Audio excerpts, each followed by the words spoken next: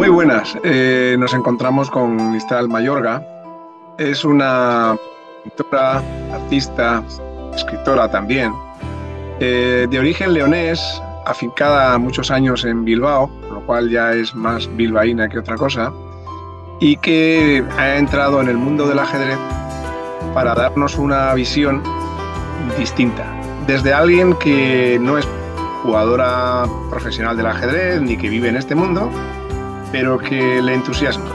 Y entonces eh, nos va a contar lo que ha hecho, pero, por ejemplo, ha cogido campeones del mundo de ajedrez y ha sabido extraer de sus miradas lo más profundo.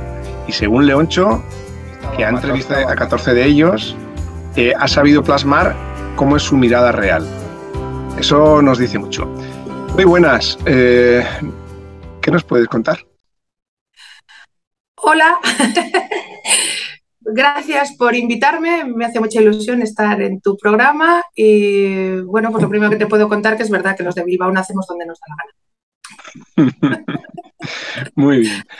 Eh, cuéntanos un poco, ¿quién eres tú? ¿Quién soy yo? Yo soy muchas, muchas Anas. Mira, solo tienes que ver el cuadro que está detrás, que es sobredosis de Ana. Eh, como tú has dicho, bueno, lo de escritora, sí, ahora he escrito un libro. Yo me considero artista, artista y, te pones a hacer cosas y todo es pues más de lo mismo, hacerlo con mucha ilusión, informarte bien, tener buena mano y luego la práctica y el, y el oficio de muchos años, ¿no? Llevo más de 30 pintando y entonces ya llevo años que dedicándome al retrato y entré, como digo yo, por la puerta grande un día que me cambió la vida, que siempre me ha gustado el ajedrez, pero, pero me conocieron, vieron mi obra, me encargaron unos...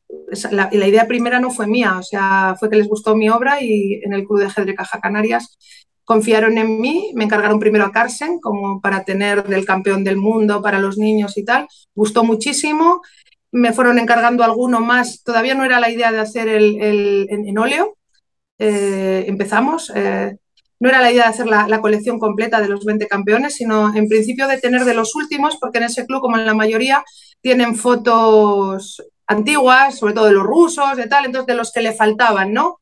Bueno, Mario, de Topalov, eh, el segundo que pinté fue, fue Kasparov, y luego ya les fue gustando tanto que, decidimos hacer la colección completa de los campeones, incluso se amplió a cinco, a cuatro mujeres, las imprescindibles, también pues a la altura de campeonas del mundo.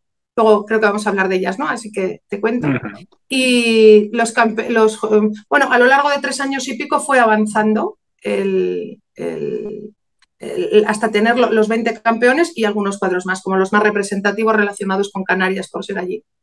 Y luego, pues, pues la vida va evolucionando. Eh, te presentan a gente, le interesan esos cuadros, ya no eran míos, eh, estaban, les, me ofrecieron o a Caja Canarias le ofrecieron traerlos al magistral de León. Caja Canarias dijo que de, de, allí que no, no les interesaba sacarlos. Empezó la pandemia, no se hizo el magistral de León presencial en 2020 y yo ya había empezado mi colección para mí en acuarela y digo, pues me la pinto entera. Y ahora tengo dos colecciones, son mías porque están pintadas por mí, una en mi poder, que es la que estamos pues enseñando en todos los sitios donde, donde me lo ponen un poquito fácil el llevarlo. Y luego surgió lo de que, jo, y estos, estos cuadros que tienes, según tan estupendos, yo ahora también estoy convencida que son estupendos. ¿Por qué no haces un libro para, para y, eh, pero el libro al principio iba a ser como poco más que un catálogo para lucir mi obra, pero claro, te pones con ello. Yo había estudiado a cada uno y me acordaba de aquella manera. Cuando ya te pones con el libro, te pones a estudiar como una loca, a leer todo, porque claro, de alguno te lo sabes, pero luego, ya que estamos, vamos a hacer algo digno, ya que estamos, si lo leen los chavales, que sea totalmente riguroso. Sí que Entonces, sea menos. Está bien. No, simplemente quería decir, bueno, que el por qué mm, te hemos traído a, a nuestro programa, o cómo, sí te hemos más, ¿ves? Eh, cómo te hemos conocido, pues bueno, ha sido precisamente por la entrevista que hicimos a Marcelino Sion eh, sobre el Magistral de León, en el cual él nos estuvo hablando de las actividades paralelas que hacían al propio magistral y a los torneos que se realizan allí de ajedrez se habló de un mago, un mago gallego, y nos habló de una pintora. Y entonces, bueno, estuvimos viendo eh, a través de, de, las imágenes que mandaba su, su, obra, su idea, y bueno, también nos habló de que había presentado un libro.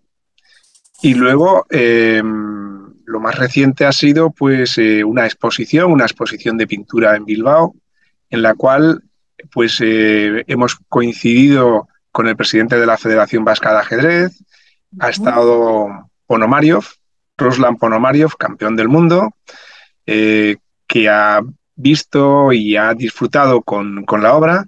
Y cuéntanos. qué nivel? Un campeón del mundo en mi exposición. Bueno, ya estuvo Anand también. Pues lo que íbamos diciendo, que al final lo que hemos conseguido es eh, una exposición en Bilbao, en la Bolsa, en el edificio de la Bolsa. Y cuéntanos un poco, eh, ¿quiénes han estado? ¿Qué es lo que te han dicho? Bueno, las, no, sé, o la gente no se atreve a hacer malas críticas, pero te puedo asegurar que no he tenido ni una mala crítica. Al contrario, estoy, estoy en una nube de las cosas que me están proponiendo, de, los sitios en los que parece que, lo que yo he hecho ahora encaja, que, porque es lo que a mí me interesa, que, llenar un huequito en el ajedrez, que si luego, bueno, se vende mi libro, gustan mis cuadros, fabuloso, pero si puedo un granito de arena en potenciar desde el ajedrez de base, que soy una eh, convencida de que ojalá fuera como asignatura, pero bueno, si no podemos eso, que sea un gran, que sea un gran, una gran extraescolar, que se le dé el sitio. Y, que los chavales que sepan un poquito de lo que yo puedo, no, no sé, que sea menos, que puedan un poco de historia, que la gente con el libro me dice que, jo, qué pena que yo dejé de jugar al ajedrez, con la ilusión que te veo, si esto era muy divertido, si yo dejé hace años, a mis nietos les voy a comprar un, tablero ahora o para Navidad, o sea, el ajedrez ahora está de moda, se ha, se ha, multiplicado con la pandemia, es de las pocas cosas que ha crecido, gambito de dama, o sea, muchas cosas, aprovechemos eso. Pues si lo que yo hago puede mm, adornar un poquito más, pues, pues bienvenidos lo que aportar. Aportar, esa era la palabra. Una curiosidad, eh, las técnicas que empleas, empleas eh, acuarela y óleo, ¿verdad? Eh, sí. ¿Por qué utilizas estas técnicas y, quieres decir algo con las técnicas que empleas? ¿Empleas para todos lo mismo o tienes alguna, alguna técnica que quieres utilizar por algún motivo especial? Bueno, a mí las técnicas que más me han gustado en toda mi obra es, porque luego yo he hecho pastel, carboncillo. Bueno, es que, no sé, yo siempre, es que en lo del arte es más de lo mismo, es igual que hacer, es aprender a manejar el material, pero lo, importante es el resultado final. Entonces yo en toda mi trayectoria siempre me ha gustado mucho los retratos, casi siempre eran, ahora estoy empezando también a trabajar algo en acrílico, porque estoy haciendo unos formatos chiquitines de siete y medio por siete y medio, o sea, le llamo retrato joya, luego si eso os enseño alguno que tengo por aquí. Eh, y ahí es en acrílico, porque el óleo no me resultaba, era mejor que se secara antes, pero em, son dos técnicas totalmente distintas. El óleo eh, tiene la pastosidad, la textura, la rugosidad, es más, yo he trabajado a veces con texturas de arena y cola, no en este caso de los campeones, porque los me gusta que queden suaves, finos, no muy machacados, ¿no? Eh, pero tienen el, el óleo admite rectificación, vas trabajando de oscuro a claro, entonces bueno, pues van dando las luces, tarda en secar, con lo cual no te puedes comprometer a hacer un retrato eh, en tal fecha porque tiene unos, unos, plazos de secado, de barnizado y tal. Y luego la acuarela es todo lo contrario. La acuarela, para que lo entiendas, tú te pones a dibujar y el agua se va para todas partes. Entonces tú tienes que dominar ese agua. Lo que se aprecia de una buena acuarela, pues los, los puristas sobre todo, que yo soy de esa escuela, es la transparencia y el que no esté machacado no admite ningún tipo de rectificación y tienes que mm, trabajar de claro a oscuro. Vas trabajándolo en pálido y le vas dando más, le puedes dar toda la fuerza, pero en el momento que metes un oscuro ya no puedes dar un claro encima, con lo cual tienes que tener en tu cabeza muy bien lo que quieres hacer. Entonces yo como trabajo con esas dos técnicas, suelo ser bastante rápida también bueno, suelo ser bastante rápida en casi todo lo que hago, porque no me gusta ni pasar dos veces por el mismo sitio ni perder el tiempo. Entonces, eh, suelo tener, a veces te sale y a veces no, muy claro, y entonces eh, lo difícil no es hacerlo, lo difícil es saber lo que tienes que hacer. En el momento que tienes claro lo que tienes que hacer, pues con tu oficio te sale. Pues como un ajedrez, ¿no? Como una partida de ajedrez. Que tienes que, planificar el ajedrez es la vida. Unos decían el ajedrez es como la vida y otros decían el ajedrez es la vida. Yo creo que por eso es tan bueno que los niños, que todos, el ajedrez, porque es muy importante para tu vida diaria esa manera de, sacrificio, la filosofía. sí, la filosofía. Vamos a, vamos a ir un poco a tu obra. Espera, quiero decirte una cosa en relación al libro. Que quizá lo mejor que tiene este libro en, las imágenes, aparte de eso, es que tienen el óleo y la acuarela, página y página, y yo me encanta esa comparación, porque en los óleos intenté, a lo mejor me lo ibas a preguntar después, pero ya te lo cuento. en los óleos que tienen un tamaño de 42 por 47, eh, decidí hacerlos un pelín más grandes de lo normal, eh, no tanto como una foto, sino intentando sacar la parte como de cómic, como de, de superhéroe, porque yo me ponía en, lo primero que me encargaron de que esos niños que iban a jugar allí lo iban a ver, ahora lo está viendo más gente, y entonces está ahí. Y, los, y procuré hacerlos todos en la época en que fueron por primera vez campeones del mundo. Por ejemplo, Stendy ya tenía 50 años, pero o Kasparov fue, ha sido durante 15 años, pues en su primera etapa. Eh, mm. Siempre respetando y que se viera su forma de vestir, su, que, con un primer golpe de vista pudieras situarlo en el vamos a hablar vamos a hablar de eso. Y por eso por eso te pido que de toda tu colección de campeones eh, y campeonas seleccioname ocho. Y, me vas a decir por qué por qué has elegido a, esa persona en concreto bueno por dónde empezamos te da igual por donde yo quiera pues, por el principio empezamos por Steinitz, por ejemplo. Por ejemplo. Te recomiendo, vamos a ver, yo ahora mismo tengo, eh, eh, en el libro salen 40, 40 cuadros, 20 en óleo y 20 en acuarela, de los mismos repetidos. Entonces, eh, te elijo de esto y te voy diciendo de cuál. Y luego hay otros cuadros también de ajedrecistas que no están en el libro porque no son campeones del mundo, como son mujeres o tal. Entonces, te hago un, un mix así de todo. Sí, empecemos, eh, resumen un poquitín, que es, yo estoy viendo la, eh, lo que es el, Steinitz, por ejemplo. el retrato de Steinitz y es una persona además... El retrato de Steinitz en, en acuarela. El de acuarela, al contrario que los otros, que normalmente han sido campeones con veintitantos años y luego me he tomado la libertad, pues por ejemplo, en Fischer, de hacerle prácticamente a tres años de su muerte, o sea, ya anciano y lo que porque los de acuarela intenté que fueran imágenes más reconocibles por los chavales, sobre todo en Google. O sea, no, no que la, medida histórica, ¿no? La, época histórica. Entonces, al, contrario, en índice es curioso porque, claro, fue campeón con 50 años, entonces la acuarela es más joven, no mucho más porque es un barbudo esto, pero sí, yo creo que las fotos que yo tenía, que eran blanco y negro, que son, si buscan prácticamente, porque tampoco está muerto y tampoco tenía quien me, diera imágenes más inéditas, ¿no? Eh, pues eh, me, extrañó y me hizo mucha gracia en todos porque tienes en la foto la imagen de tío bonachón, eh, casi como un, padrazo, y resulta que no, que él es que cuando me pongo a estudiar su historia era un tío malhumorado, de osco, y entonces eso sí que me hace gracia, claro, yo me, me fío. Entonces su mirada Luego también dicen que murió, es de los dos, lo cuenta Leoncho también, eh, con graves problemas mentales y arruinado, con lo cual esa parte no la quise sacar, quise sacar esa parte inteligente y que él ya llevaba cuando fue campeón del mundo oficial, ya llevaba pues dos décadas siendo, estando en la élite de, del ajedrez de aquella época, en 1886 fue cuando hizo. Y ese te, mm, presentaría, eh, bueno, lo estás poniendo ¿no? en la imagen en eh, acuarela. Sí, Steinitz además tiene, tiene mucho, aportó muchísimo al ajedrez, viniendo de una familia séptimo de, nueve hermanos. Tuvo que buscarse la vida, tuvo que buscarse la vida y bueno, sus comienzos fueron mientras estudiaba en cafeterías, jugando por dinero. Así que sabía, sabía lo que es luchar y el final. Bueno, a lo mejor es como en el MUS, ¿no? Se aprende pagando y claro, no era lo de, lo de ahora, tenían mucho mérito los de aquella época porque, eh, claro, se lo tenían que pagar todo, con lo cual también viajar para competir o, eh, o poder vivir de ello había que ser muy bueno. Y no, la verdad es que yo digo, yo creo que de todos no habría ninguno de los campeones que no saliera una buena película sobre su vida. Sea, cuando te pones a estudiarlos, que es lo que yo he pretendido con el libro, dar unas pequeñas pinceladas y que luego, como hoy, das a una tecla y te informan de todo, que la gente tenga curiosidad cuando lee mi libro en informarse más. Sí, además, mm, vuelvo a repetir que el, prólogo de Leoncho es parte del libro, porque te hace una buena semblanza. Yo creo que es interesante. Bueno, vamos no se le compra, ¿eh? a Leoncho no se le compra con nada, ¿eh? es totalmente simple, lo digo yo.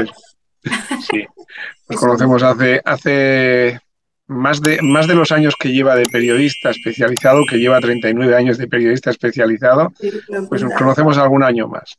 Sí que es cierto que el libro estuvo a punto de salir sin prólogo, de lo ocupado que está, y ya no era para pedir a otro segundo prologuista, o sea, hubiera salido sin prólogo, se ofreció desde el primer día.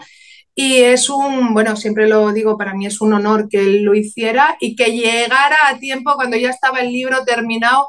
Y bueno, sería para escribir casi un libro de todo lo que costó, que se, cuando ya lo tenía escrito estaba en Cuba y se quedó dos días sin internet, esas cosas que pasan en Cuba. Y fue, pero ahí está y, sé que es un apoyo, bueno, es que me estoy sintiendo muy apoyada por los que lo están leyendo, porque al principio, bueno, a ver esta rubia que, que nos está enseñando y luego he visto, me he sentido muy, no sé cómo te dije, respetada cuando han visto la obra. Pero bueno, eso cuando la gente lo vaya viendo lo irá, lo irá diciendo. Pero hasta ahora las críticas. Así que luego me gustaría que tú también fueras sincero, que tú ya tienes el libro, lo has visto. Aquí está. Mm, mira, chulo, ¿eh? Sí. Bueno, vamos a ver, sigamos. El, el segundo o la segunda, que que te puede... Que te Voy a ir por orden para no olvidarme, porque yo, sé que luego cuando ya lo me has dicho, que cuando tú lo pongas lo vas a poner ahí, pero yo te lo estoy diciendo de memoria porque yo no lo veo, luego lo editáis. Entonces, eh, pondría, o sea, luego tendrás que buscarlo y ponerlo. Con lo cual, eh, yo eh, a mí me encantó Alequine, me encantó Alequine, ahora estoy leyendo la diagonal Alequine, porque claro, después de que ya el libro ha salido, sigue, sigo leyendo todo lo que cae en mis manos, lo que me da tiempo, estoy aprendiendo más, aunque bueno, hasta ahora no incluiría nada más en el libro, porque está lo que está y tampoco... Es que hay millones de cosas. Entonces, yo creo que lo difícil del libro fue quitar el polvo de la paja y, el grano de la paja y dejarlo. Y, creo que ahí, cuanto más lo miro, creo que con, las personas que me asesoraron, creo que acertamos de pleno. Pero Alequine, aparte de que era, es que, es que de, sí que, no, no, bueno, ahora se están escribiendo libros sobre su vida. Eh, también me decían, ¿cómo pones que esto, esto a quién le interesa a los ajedrecistas? Que se casó cuatro veces y siempre con mujeres mayores que él. Digo, pues a mí, a mí me interesa, que soy mujer, que no me lo encontró en ningún sitio y que me hizo gracia.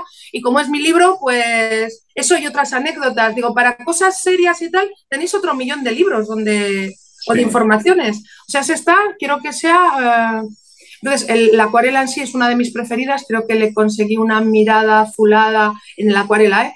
y una transparencia y ese enigmático, porque bueno, eh, las cosas sobre su, las, noticias sobre su vida, algunas son, pues hasta su muerte estuvo cargada de polémica, nadie reclamó su cuerpo, le tuvieron que enterrar después de tener cuatro mujeres, de hecho se le llaman el ruso errante. En el óleo hice más hincapié en, en su forma de ser, en su gato Chess, que lo llevaba a los torneos siendo Ewe eh, alérgico a los gatos, como entonces se podía fumar y se podía llevar mascotas. pues, o sea, yo le tengo como una mala persona. Lo que yo he leído sobre él no era, y luego, mm, pues alcohólico muchas partes de su vida, aunque alguna dejó para, pues, para enfrentarse con capa blanca, se entrenó a tope, dejó de beber. Y, pero vamos, su, biografía es que es, eh, entonces no podía dejar, es, es de mis acuarelas, también en acuarela, mm. la que estáis viendo. Perfecto, pues vamos a ver, vamos a... Tenemos un poco ahora ya los un poco más modernos y yo ahora ya, y los otros te voy a enseñar en óleo, eh, porque si alguien puede pasar a ver mi, exposición, eh, eh, lo que yo ahora son los vende en acuarela, pero bueno, mm, me dijiste que eligiera y entonces el siguiente, por, por, orden de campeón del mundo, creo que el siguiente que puse fue tal, ¿no? Que es el octavo campeón del mundo. Mijail Tal. Mijail Tal, eh, correcto. Mm, es mi preferido. O sea, cuando. Porque la gente te pregunta, te pregunta, hay, hay, preguntas que ya cuando vienen te hacen, ¿por qué no hay ninguna mujer en la esta? No hay ningún español en tal. Y luego, ¿quién es tu preferido? O sea, hay preguntas ya estándar. Pues sin duda, Mijail Tal sería la persona que a mí me hubiera encantado conocer. Mi marido se acaba de ir, pero incluso hasta enamorarle. O sea, me, me, parece eh, el sumum de la, de la creatividad y luego, pues cuando esto, sus dos manos izquierdas, porque en la mano derecha tenía un, era un muñón, que yo tengo una foto donde se le ve, porque solo la debía sacar para fumar pero claro, estaba fumando todo el rato. O sea, entonces le he hecho fumando en los dos, en los dos retratos, tanto en óleo como en acuarela. Creo que he conseguido que el cigarro parezca que está incandescente y las volutas de humo. Estoy muy orgullosa de esos retratos en, general, pero el que es ahí es el de, el de óleo y sus dos manos izquierdas haciendo referencia a ese muñón que además decían que aún, teniendo solo tres dedos, tocaba el piano mejor que bien.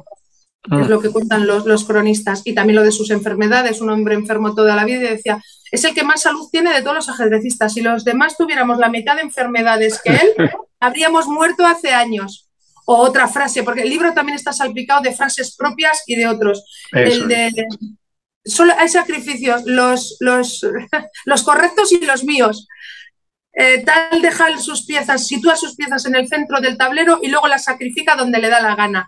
Entonces es que para mí es fascinante es la palabra de, este. no se me nota que no. No, no, tiene, tiene un poco como la mirada de niño malo, ¿no? De niño tras, más, más que malo, travieso. ¿No? Sí, yo creo de me voy a divertir. Además es que él lo decía. Es así, ¿no? esto y tengo que ganar, pero a veces casi mi meta es ganar, como todos los ajedrecistas, pero si me divierto, mejor. Igual que otros estaban totalmente concentrados. Eh, ¿Quién era? Eh, este, pasamos, si quieres, al, noveno campeón del mundo, es Tigran, Tigran Petrosian, que era sordo. Y entonces también en óleo, en óleo, bueno, que era su temprana sordera, aún así era aficionadísimo a la música, tuvo que sacar a su familia adelante, pasó la posguerra mm, con muchas, muchas dificultades, entonces era un hombre como muy, muy desconfiado quizá por su sordera también, ¿no? Y llevaba audífono, pero lo desconectaba para concentrarse mejor en las partidas, dicen. Entonces ahí hice, entonces he intentado hacer en los de óleo, que son más grandes, porque los de acuarela son más un primer plano, justo por debajo del cuello, pero los de óleo tienen hasta medio torso, figuras flotando, algo alegórico a su, a su biografía o algo que a mí me llamó la atención, ¿no? Y en este, por ejemplo, era su sordera, entonces le hice los caballos negros susurrando a los oídos del sordo y tenía una, una mirada muy, unos ojos muy pequeñitos y muy vivaces, pero muy inteligentes. Y yo le veía una persona muy enrevesada cuando yo le estaba... Eso es lo que a mí me transmitían sus fotos y lo que leí de él. Bien, bien. Sí, esos dos caballos negros, ¿verdad? A sus lados. Sí que es cierto que la persona que a mí me los encargó, que es gran maestro internacional, Chelu Fernández, para el Club Jacaja Canarias, eh, Claro, yo de muchos de ellos cuando me puse con ellos no les conocía, no conocía ni el nombre, pero sí que me los estudié para la primera colección, luego más y luego ya para el libro ni te cuento. Eh, pero él también me asesoraba, así que le pedí, pues no sé si era, que buscara de las mejores partidas y cuál podría ser la pieza fetiche de cada campeón. Y en él me dijo los, por las partidas que él estudiaba y tal. Yo en aquel momento, eso sí me fié de él, porque eso sí no lo puedo defender yo. O sea, no, no tengo tanto nivel como para decir los, las piezas fetiche de, de, Petrosian eran los caballos negros. Pero según Chelu, sí que tenía grandes partidas y, grandes jugadas con mucha belleza con, esas. O sea, que todos los que tienen una pieza en general es porque, porque de alguna manera eh, esa pieza le representa dentro de, mí. Sí, pero con esto que estamos hablando, mm, se refuerza la idea de que el libro está escrito para personas que nos gusta el ajedrez, pero para curiosos del mundo del arte y del mundo de la historia también, aunque no sepan jugar ajedrez, aunque como dice Nistal, que bien lleva una partida de ajedrez escrita eh, por cada uno de ellos, una selección de una partida, ¿verdad? Aunque hay elegido, eso le vale para, bueno, el asesor que ha tenido, que ha sido Chelu Fernández, el bilbaíno Chelu Fernández, el que ha elegido, entiendo yo, las partidas, ¿verdad? Si no estoy equivocado. Sí, pero no, no es cualquier partida, es más, el libro estaba casi hecho. Esto es, además se lo tengo que agradecer porque trabajó, o sea, si son 20, tendría a lo mejor elegidas, sin exagerarte, 16 partidas buenas. Pero cuando ya teníamos el libro, dice, pero eran partidas que eran buenas por alguna cosa en especial. Pero luego, rizar el rizo es buscar la mejor partida de ese match. Por ejemplo, el, en el, em, de, ese match que se hablaba, de, pues, del año que fuera, por ejemplo, en 1986, y no podía ser ni perdida ni empatada, o sea, ya ahí se reducía bastante. De las ganadas por el protagonista, la que luego por alguna razón él considerara, que luego yo sí, me he estudiado esas partidas, las he mirado, he visto esa belleza asesorada por él, o sea, no, no estaré, esa parte no está escrita por mí, pero sí está repasada por mí y por qué están ahí, pero no es cualquier partida, eh, que luego hay gente que me ha dicho, es que no están, no están explicadas las partidas. mira, son partidas tan famosas que en el momento que tú las pongas, te van a dar las mayores explicaciones de los mayores eh, expertos del mundo. Esa no es mi función en el libro. O sea, una es eh, hacer una mini, mini biografía pequeñita de una página, mostrar mi obra, que al final es lo que yo quiero, lucir mi obra.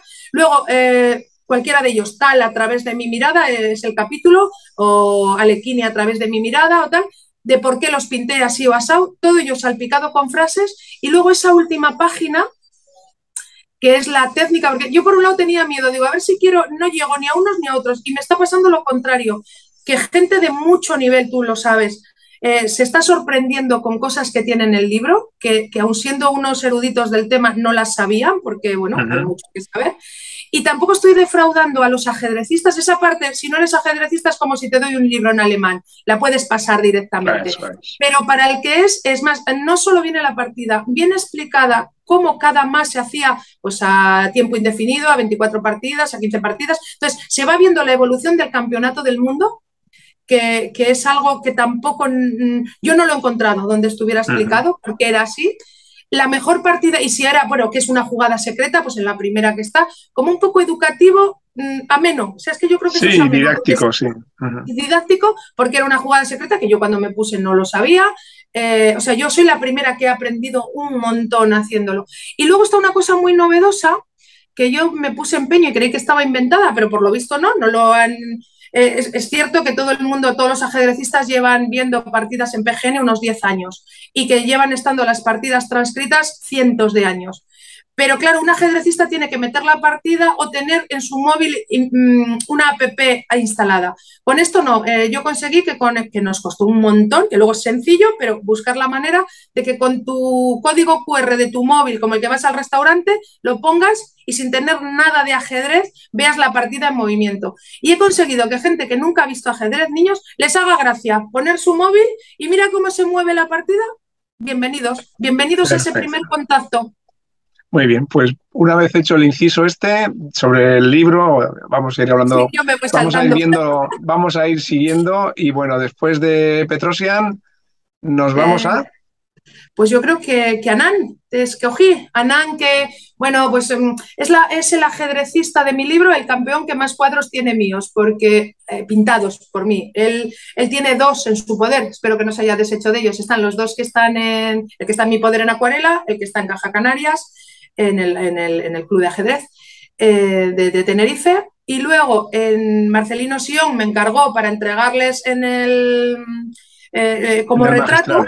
En el magistral, que ya te lo contó en su día, pues estaban Anán, Gelfan, Esipenko y el que está ahora imparable, que le felicito desde aquí, Jaime Santos, que está ya por... Es que no, desde que le he pintado no ha perdido nada. O sea, un día que habló del Leoncho y ese día perdió y le dijo, Leoncho, no vuelvas a hablar de mí, que cada día que hablas de mí esporádicamente pierdo la partida. Ese es al revés, es un, leonés con orígenes vascos, porque su madre es de Irún. Ah, mira, pues eso no lo sabía yo. Tenemos amistad y además le digo, tío, porque tengo ilusión de pintar, eh, porque se me han acabado los campeones, ahora te sigo con esto, los de más de 2.750 de Elo, y él anda ahora ahí por los 2.000, 600, 700 o tal. Y, le digo, bueno, mira a ver si llegas y estás en esta colección, igual que tengo intención de pintar a los campeones sin corona, o, o, quizá ampliar las mujeres importantes, que ahora me ha surgido algún, algún, alguien que me ha dicho algo por ahí, que seguramente sea el primer proyecto que acometa, ¿no? Vamos a hablar de antes de que se nos olvide. Eso, y sin más, bueno, pero allí, y entonces eh, a Ana se le entregó eh, esos que estaban, que, gustaron muchísimo como trofeo, pero luego eh, yo había pintado para enseñarles otros formatos que hago en 10x10 que les gustaron mucho, pero no les encajaban para el magistral, y yo tenía pintado a Nan con su caballetito y con su... Espera, voy a enseñar cómo es el formato estos son 7,5 eh, medio por 7 y medio, aquel eran 10 por 10, pero con su caballete y tal. Bueno, por ahí hay alguna foto también. Entonces, eh, se lo regalé y tengo una foto con él, con mi libro y con el... Y entonces, es la, el de los campeones, a los que yo ya les he pintado, ya le he pintado cuatro veces. Y luego me encantó, aparte de que su, su fecha de nacimiento es el mismo día del cumpleaños de mi hija y hace que lo recuerde mejor, un año menos que yo, del 69, y que parece extremadamente joven, o sea, nadie le echa esa edad, así a la vista, está muy joven, pero no solo a nivel físico, es que resulta que yo cuando le empecé a pintar me decían, no, es que este es muy mayor para estar en la élite de los 10 mejores del mundo. Pues esa semana ganó un, trofeo de rápidas en Estados Unidos y entonces dije, le tengo, lo que se me ocurrió fue hacerle ese reloj daliniano derretido en su hombro, como un guiño a eso, a ¿qué pasa con los de nuestra edad? ¿Eh? ¿Qué pasa? muy bien, muy bonito, muy bonito, sí, la verdad es que es muy expresivo. Y mirada con gafas, varios de ellos tienen gafas y eso es un, un, un, un hándicap añadido al pintor, conseguir esa transparencia, conseguir y una alegría muy grande cuando consigues esa mirada a través de unos cristales. Muy bien. Sigamos, sigamos adelante y nos acercamos más a lo que es la actualidad no quería dejar pasar el que hice, el primero que me encargaron, el que está que todavía campeón, ya parece que por poco tiempo porque se ha negado a, competir por revalidar su título, ¿no? Entonces, Carsen, y ese es el único que está distinto de tamaño. Luego, eh, porque fue el primero que hice, era para poner único en ese club, y entonces se me ocurrió, me quería lucir y no me importaba el trabajo, y entonces hice cuatro retratos en uno. Y entonces está eh, como podréis ver, me imagino que se está viendo, eh, el, el, Carsen pensativo, yo le había conocido, me había hecho una foto con él, se, lo cuento la anécdota en el libro, del mal humor aquel día, estaba discutiendo con su padre el día que yo le conocí aquí en el campus. Y, y, bueno, tengo ese recuerdo, ¿no? Que también ahora que he estudiado sé la presión que tienen a esos niveles, ¿eh? lo entiendo perfectamente. toda la gente alrededor, la concentración que les exige, o sea, desde aquí, lo primero es que, que que conozco el esfuerzo y, lo respeto. Pero bueno, yo en aquel momento... Y luego mm, me encantó que fuera un tío guapo, que no fuera el estereotipo del ratoncito de biblioteca que está eh, estereotipado de los ajedrecistas, el inadaptado o esto. O sea, me parecía un tío que ganaba casi como Nadal eh, por publicidad y que yo le veía sonriendo en las fotos con las modelos de 18 años guapísimas, quería sacar eso, te saqué esa cara niñada, sonriente, relajada. Luego, esa mirada chulita que creo que, mm, pues para alguna de las marcas que le pagan de ropa. Y luego lo que sí quería sacar y fue la que me encantó fue la mirada, yo le llamo, no, no sé si lo pongo así, mirada asesina a su contrincante, que me imagino que le enseñaría mucho Kasparov en su día, cuando fue su profesor, la mirada esa penetrante. Y entonces, bueno, me hablabas, yo creo que esas cuatro miradas las conseguí, las conseguí con nota. Yo ahora veo el cuadro y me parece una maravilla. Muy bien. Y luego me has dicho que elija y he elegido dos chicas también. Una, la primera, me parece imprescindible, yo le llamo las imprescindibles. Yo la colección eh, de las mujeres como con más, no en sí campeonas del mundo, porque ahí faltarían muchas. Y, bueno, eso tendría que estudiarlo más y, hacerlo mejor, que es lo que intento ahora, que crezca esa colección. Las que me encargaron allí eh, empezó por, por Judy Polgar, que me parece la leche cuando, cuando empecé a estudiar cómo sus padres eh, las, educaron a las tres hermanas de manera distinta al resto del mundo para crear unas genios y lo consiguieron. Yo que soy madre me pareció tan difícil, o sea, tan difícil que te salga bien y que ahora ella diga que no, bueno, que se ha perdido unas cosas, pero que ha ganado otras. Esa admiración de que estuvo, no sé si octava, yo creo que octava del mundo, además el 8 es nuestro número, eh, tú hablando así en privado me decías que a lo mejor llegó a séptima, puede ser, lo tendría que mirar. Pero no, es relevante para, para No es relevante.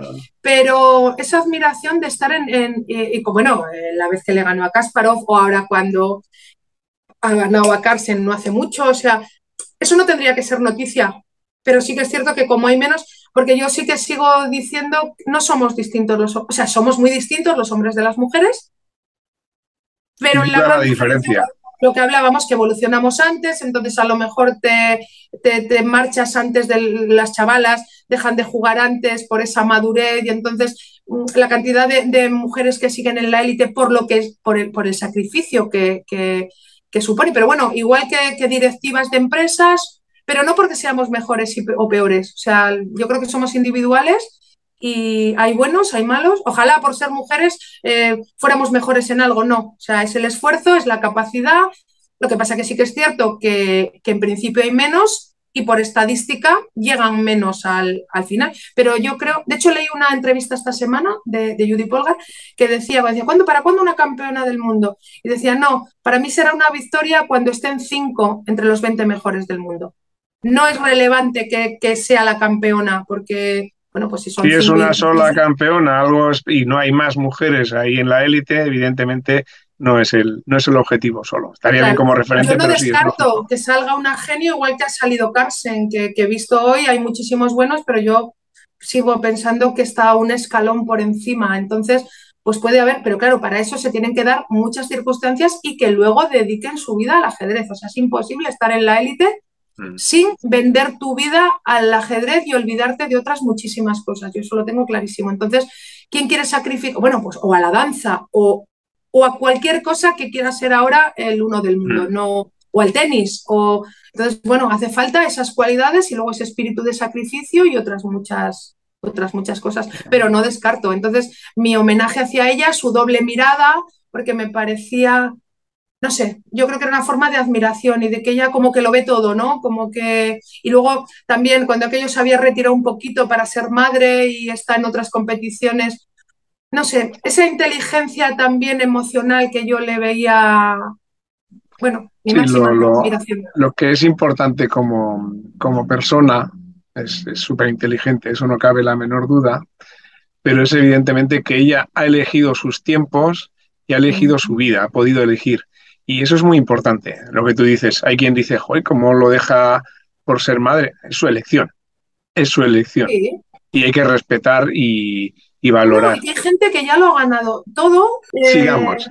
Bueno, entonces estábamos hablando, estamos hablando de Judy Polgar, estamos hablando de que es una persona súper inteligente, súper empoderada, que ha salido la, una mujer, la única mujer que yo conozco eh, que ha, ha, declinado participar en torneos solo para mujeres, que ella dice que es una más, y entonces juega con hombres y con mujeres, pero no solo con, no solo con mujeres, ¿no? Sí, sí, sí, personas, personas... Muy empedrada, eso es. Y entonces, bueno, pues tiene una gran capacidad, de hecho, cuando saquemos su participación en el Congreso por la Igualdad de las Mujeres que hicimos en Sporches, en Vitoria-Gasteiz, en 2016, la gente se va a sorprender de, lo que estuvo aportando.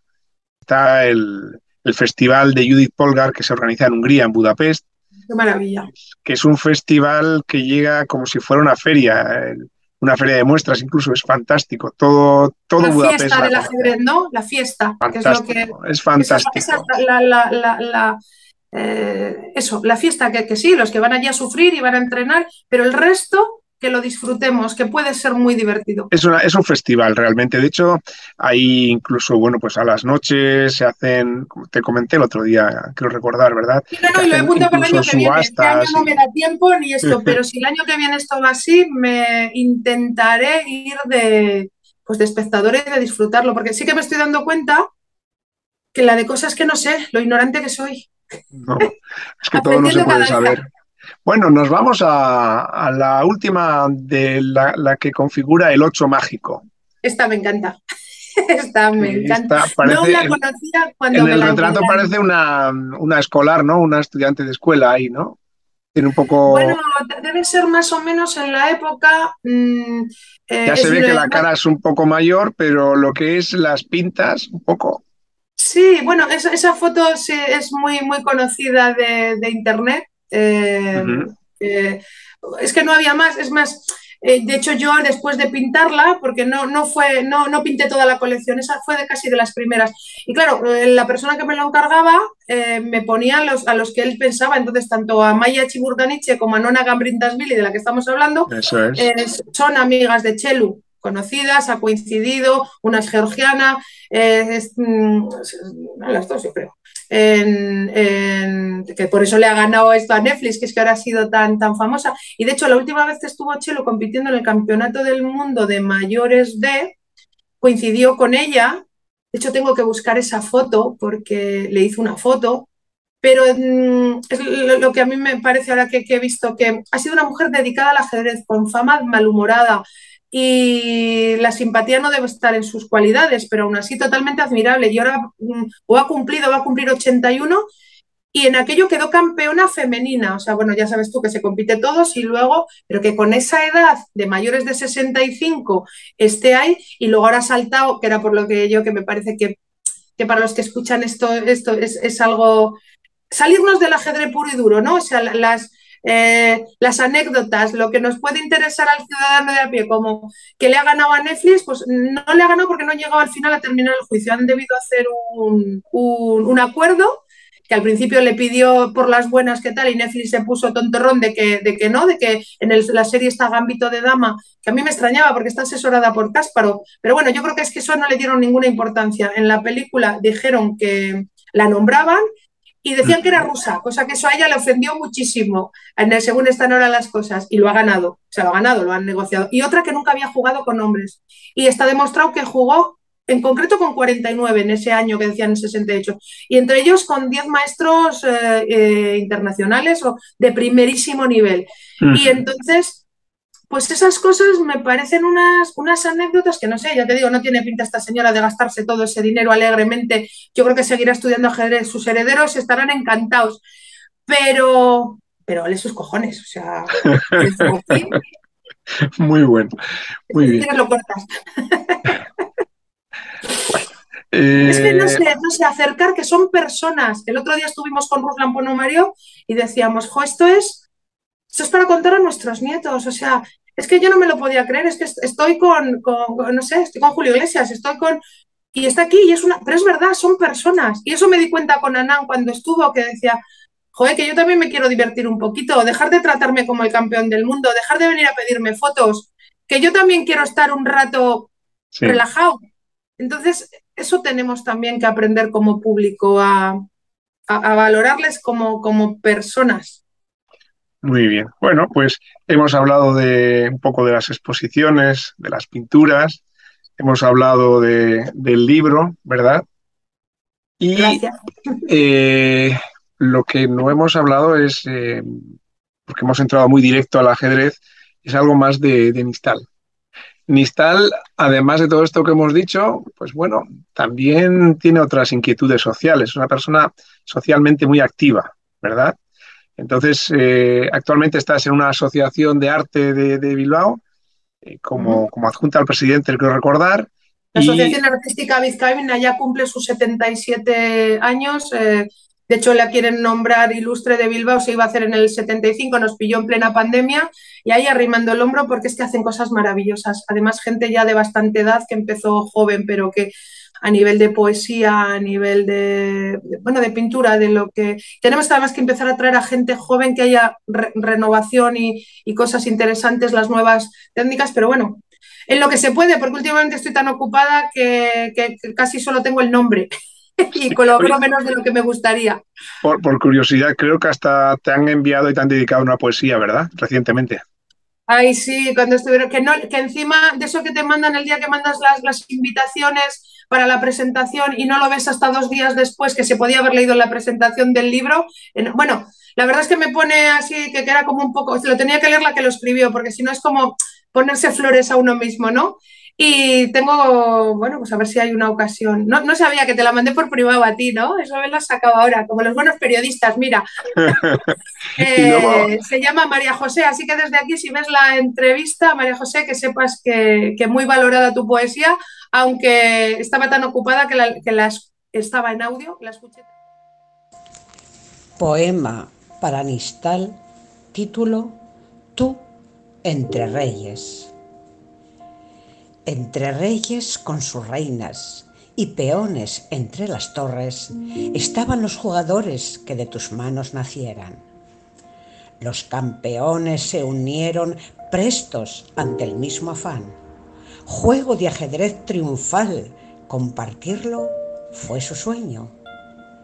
Y aquí los has reunido, incitando con tu celo a descorrer ese velo ante reto requerido si estaban ya en el Olimpo, nos los muestras como humanos, Nistal.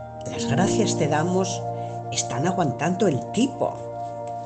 Volviste a insuflarles vida, sus mentes hacia el tablero. La idea va floreciendo. Preparan nueva partida. tu reto ya satisfecho, con ese pincel en ristre, ya nada se te resiste, mas pon tu mente en barbecho. Comenzarás ya de nuevo si tu mente inquieta trota, otra idea te alborota, rauda irás tras nuevo sueño. Hoy, felices te miran ellos, eres tú su hada madrina.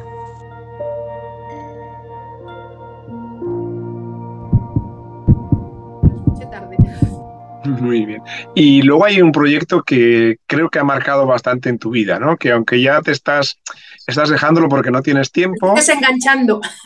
sí, pero bueno, que ha marcado una, parte de tu vida bastante intensamente. Incluso creo que tienes algunas obras, algunas obras dedicadas a, ese tema, ¿verdad? ¿Te refieres al proyecto Encontrarte? Sí, mm. del que soy comisaria, comisaria por accidente también. Yo, bueno, yo busco a mi hermana robada en el tema de bebés robados. Eh, eso, me habrán visto en algún sitio porque han sido 10 años de lucha intensa. De hecho, lo has visto, nos recibió el Papa. Esa foto pues ha sido, le entregué una acuarelita al Papa. Pues bueno, todas las cosas malas tienen sus partes buenas y hay luchas que no las eliges tú, te eligen a ti. Y puedes o dejarlas pasar de largo o, como hice yo, meterme de cabeza pues con un coste personal grande, familiar. Eh, pues bueno, es que yo cuando me meto en algo me meto a tope. Eh, y, ahora ha llegado, mira, mañana montamos la última exposición por ahora, yo ya dimití hace unos meses eh, porque, bueno, pues estaba con este, yo no daba más de sí, que hemos estado con, la, con el proyecto Encontrarte casi tres años y con siendo asociación, que también pidió la pandemia, queríamos ser escaparate de las asociaciones de bebés robados, de todas, y eso va a seguir. De hecho, ahora parece que, no es fijo, no puedo decir fijo, pero parece que alguien por fin se va a hacer cargo y va a seguir tirando de ese carro. Para mí sería un gran honor que lo que hemos empezado lo siguiera alguien, quien fuera. Eh, esto está más allá de protagonismos personales, de seguir mm. luchando por la causa. Pero bueno, está ahí. Entonces, en principio se va a hacer, nos habían concedido Ortuella y mañana tenemos, pero claro, hay que ir desde colgar los cuadros a preparar el lunch, a saludar a la gente. Entonces, eh, yo espero mañana ya tomármelo de una manera más relajada, porque llega un punto que quieres estar con todo el mundo, quedar bien con todo el mundo y, no, no puede ser. Pero, pero, y yo además ahí va a ser eh, ayudante de un pintor que confió, o sea, como intermediaria de los bebés robados, que sí que estaba con lucha activa, yendo a todo lo que se movía, en dos asociaciones, eh, y Charopena, de aquí, de bebés robados. Y Roberto Zalvidea le pareció una gran era un, es un gran, era un gran pintor de aquí, de, bueno, yo le ayudaba y esto, pero resulta que estábamos a una semana de entregar los lienzos a los pintores y falleció de repente.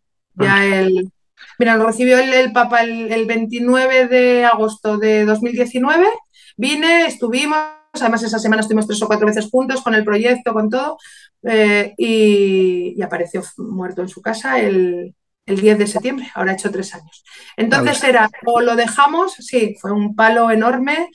Eh, yo intento eh, recordarlo con mucha alegría porque yo le siento aquí, diciendo, mm. decía, tienes mucho talento, te voy a dar el empujón que te falta porque te digo, jo, empujón, ¿no? Digo, estarás, ¿eh? Me estarás viendo desde ahí, estás encantado, ¿no? Del, empujón que me faltaba. O sea, aquí me has dejado con, con este, con este marrón.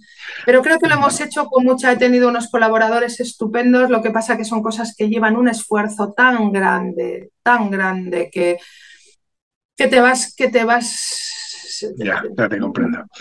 Sí, te desgasta mucho. Sí. Desgastando, muy, mucha desgaste. Entonces, bueno, no quita que alguien coja ahora el relevo y luego retomemos, o porque las cosas que se están haciendo eh, necesitan un, un escaparate. Y ese escaparate, pues gracias al arte no, nos han dado voz en teles, en radios y se nos ha escuchado un poquito, por lo menos como digo yo, al final se van a salir con la suya los malos porque los que estamos buscando están muriendo y tal, pero bueno, dándoles un poquito de guerra. Es algo que yo estoy como, como con muy pocas esperanzas de que, está mal decirlo, pero han pasado ya tantos años y, y se va muriendo la gente que busca y, nos vamos desgastando por el camino. Entonces, es vale, sí, seguir buscando una temporada más, que al final esto se agota por su propio y es una... Bueno, vamos a ir terminando. Entonces, eh, vamos a ver sobre todo lo que estás haciendo. ¿Nos puedes hablar de uno de tus próximos proyectos? ¿Qué ideas tienes en este mundo del, del ajedrez innovador, de este que puede enganchar, que podemos conseguir que haya, por ejemplo, mira, si consiguiéramos más mujeres cercanas al mundo del ajedrez y por qué no jugadoras de ajedrez, eh, ¿qué proyectos tienes en este terreno? Pues mira, estos días que no llevo, porque bueno, pues, pues se ha empezado a conocer hace poco, era el verano, yo además también he tenido un verano a nivel personal complicado, y total llevamos pues así como promocionando y he tenido la exposición 15 días en el Palacio John, se presentó el libro y tal, pues menos de un mes. Y me están llegando, o sea, según se va enterando la gente, me están ofreciendo cosas muy interesantes. De hecho, voy a tener que empezar a dosificar, a situarme, a ver cómo se hace en el ajedrez, ¿no? A pensar un poquito, a tener prioridades, a no perder tiempo, porque claro, para hacer cosas hay que encerrarte y hay que pintar. Estando de pendón por aquí todo el día, pues no, no se pintan. O sea, los cuadros, esos cuadros que se ven, sí, muy bien, pero han sido muchas horas de trabajo. Es más, yo ahora sí me dijeran volver a hacerlo, lo mismo, o el libro, no, no, me veo con fuerzas de todo lo que he hecho, ¿eh? Y sin embargo, pues, pues me habla alguien como, no, quiero decir todavía cosas concretas porque no, no están cerradas, pero sí que, jo, qué bien nos encaja eh, lo que estás haciendo, qué ilusionada se te ve. He notado que no, que en el nivel, en, en el mundo ajedrecístico que yo tenía miedo, no se han sentido invadidos por mí, porque es cierto que no voy de lo que no soy, hay muchos eruditos, hay muchos... Yo lo único que puedo defender es la parte artística, aprendiendo cada día más y la parte humana. Entonces eso como que encaja para adornar en otros grandes proyectos que ya están. Y eso es lo que a mí me gustaría, que me hicieran un huequito y donde pueda sumar, que me llamen, que estoy dispuesta. Eh, ayer me decían, esas cinco mujeres, pues bueno, ya no son míos los cuadros, habría que volver a pintar esas mismas y tener una línea que eso me ha ilusionado muchísimo. Yo ahora me voy unos días de vacaciones, bueno, vacaciones entre comillas, pero sí, desconectar un poco eh, y algunos ratos sin teléfono, que sé que me lo van, me lo van, a, me lo van a pagar unas horas. Eh, pero, pero aún así he ido, ya tengo eh, con, gente, pues voy a Canarias y con gente que vende allí libros y que puede llegar y que esté interesado, entonces esos contactos los voy a tener. Y esto otro,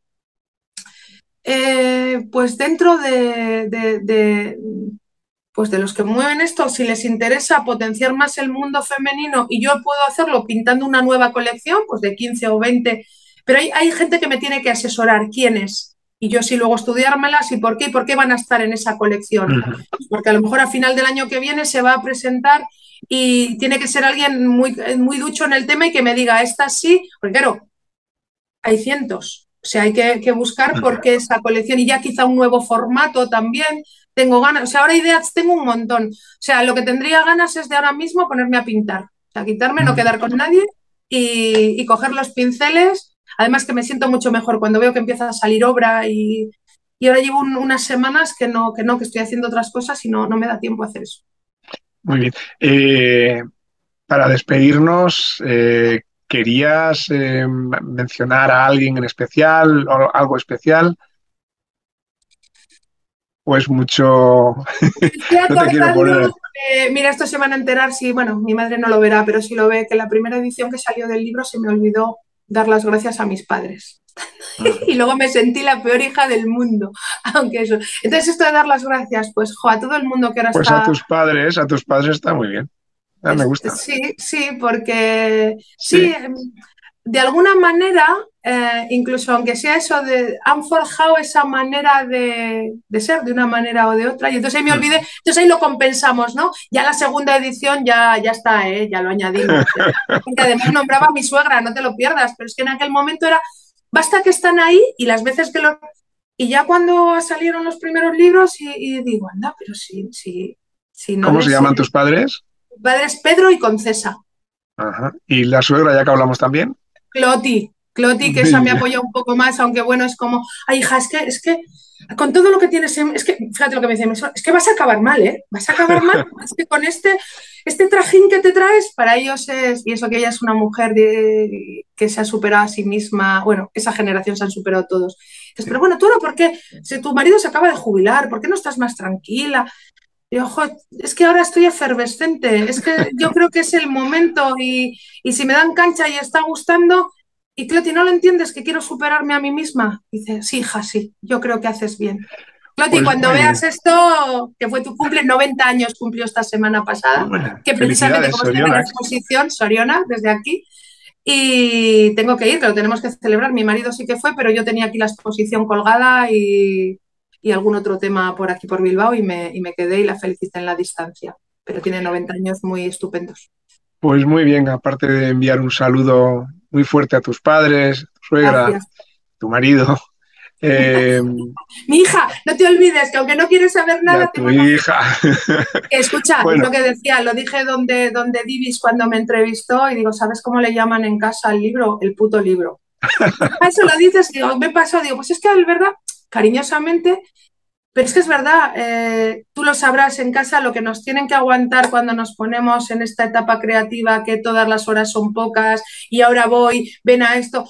Eh, yo por lo menos me vuelvo obsesiva cuando tengo algo y convivir mm. con eso sé que no es fácil. Tengo que empezar a dosificar y a, y a dejar momentos de, apagar. Lo que pasa es que es tan difícil apagar la cabeza. Sí, el día además solo tiene 24 horas, desgraciadamente no hemos conseguido ampliarlo. Las llenaríamos pues. todas, ¿eh? Las llenaríamos.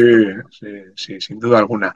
Pues Pero bendita ilusión, ¿eh? La ilusión no se compra ni se vende. Y que algo te dé ilusión, yo estar y motivación, motivación de vivir, que hoy en día hay personas muy famosas que dejan de acompañarnos en, este mundo precisamente por falta de motivación. La motivación es la clave de la vida, ¿verdad? Es la... no, yo creo, ya lo último que te voy a decir relacionado con el ajedrez, déjame este huequito. Eh, yo he visto a la gente que el ajedrez y en esta, esto les está, igual que otras otras cosas, ¿no? Les está, les está ilusionando. Porque sí que es cierto, fíjate, pues yo en este mundo en el que me he movido de bebé robados tan, tan trágico y tan. Es que como no desconectes un poquitín de la realidad y te evadas en lo que te guste, alguien puede ser cocina, alguien puede ser ajedrez, alguien, lo que sea. Es que pero si van a apretar el, el, botón rojo, pero si la guerra de Ucrania, pero si es que eh, la, inflación económica, es que como te metas ahí y no desconectes un poquitín, eh, y entonces, bueno, yo animo a todo el mundo que, pues uno será una cosa, pero el que, el que le atrape un poquito el ajedrez, es lo malo, que a veces se convierte en que te atrapa. Bueno, pues siguiendo el consejo de, de Nistal, Mayorga, os aconsejamos apuntaros a pintura, apuntaros al ajedrez, Así pintaréis con cabeza, además de con arte, y tendremos, pues como tenemos a Nistal, una persona que además se anima a escribir un libro, un libro que yo creo que aporta cosas al mundo del ajedrez. Muchísimas gracias, Nistal. Qué atrevida. perdóname y permíteme que te llame Ana, pero esa, esa gran mirada, esa gran mirada de Ana, pues eh, que es un reflejo también de su alma, igual que ella ha sabido transmitir el alma de, de estas grandes figuras del ajedrez eh, a través de su pintura. Muchísimas gracias a todos por atendernos. Eh, no olvidéis suscribiros al canal y darle al like. Muchísimas gracias. Hasta pronto. Gracias, me has emocionado. No se ha podido decir más bonito. Gracias.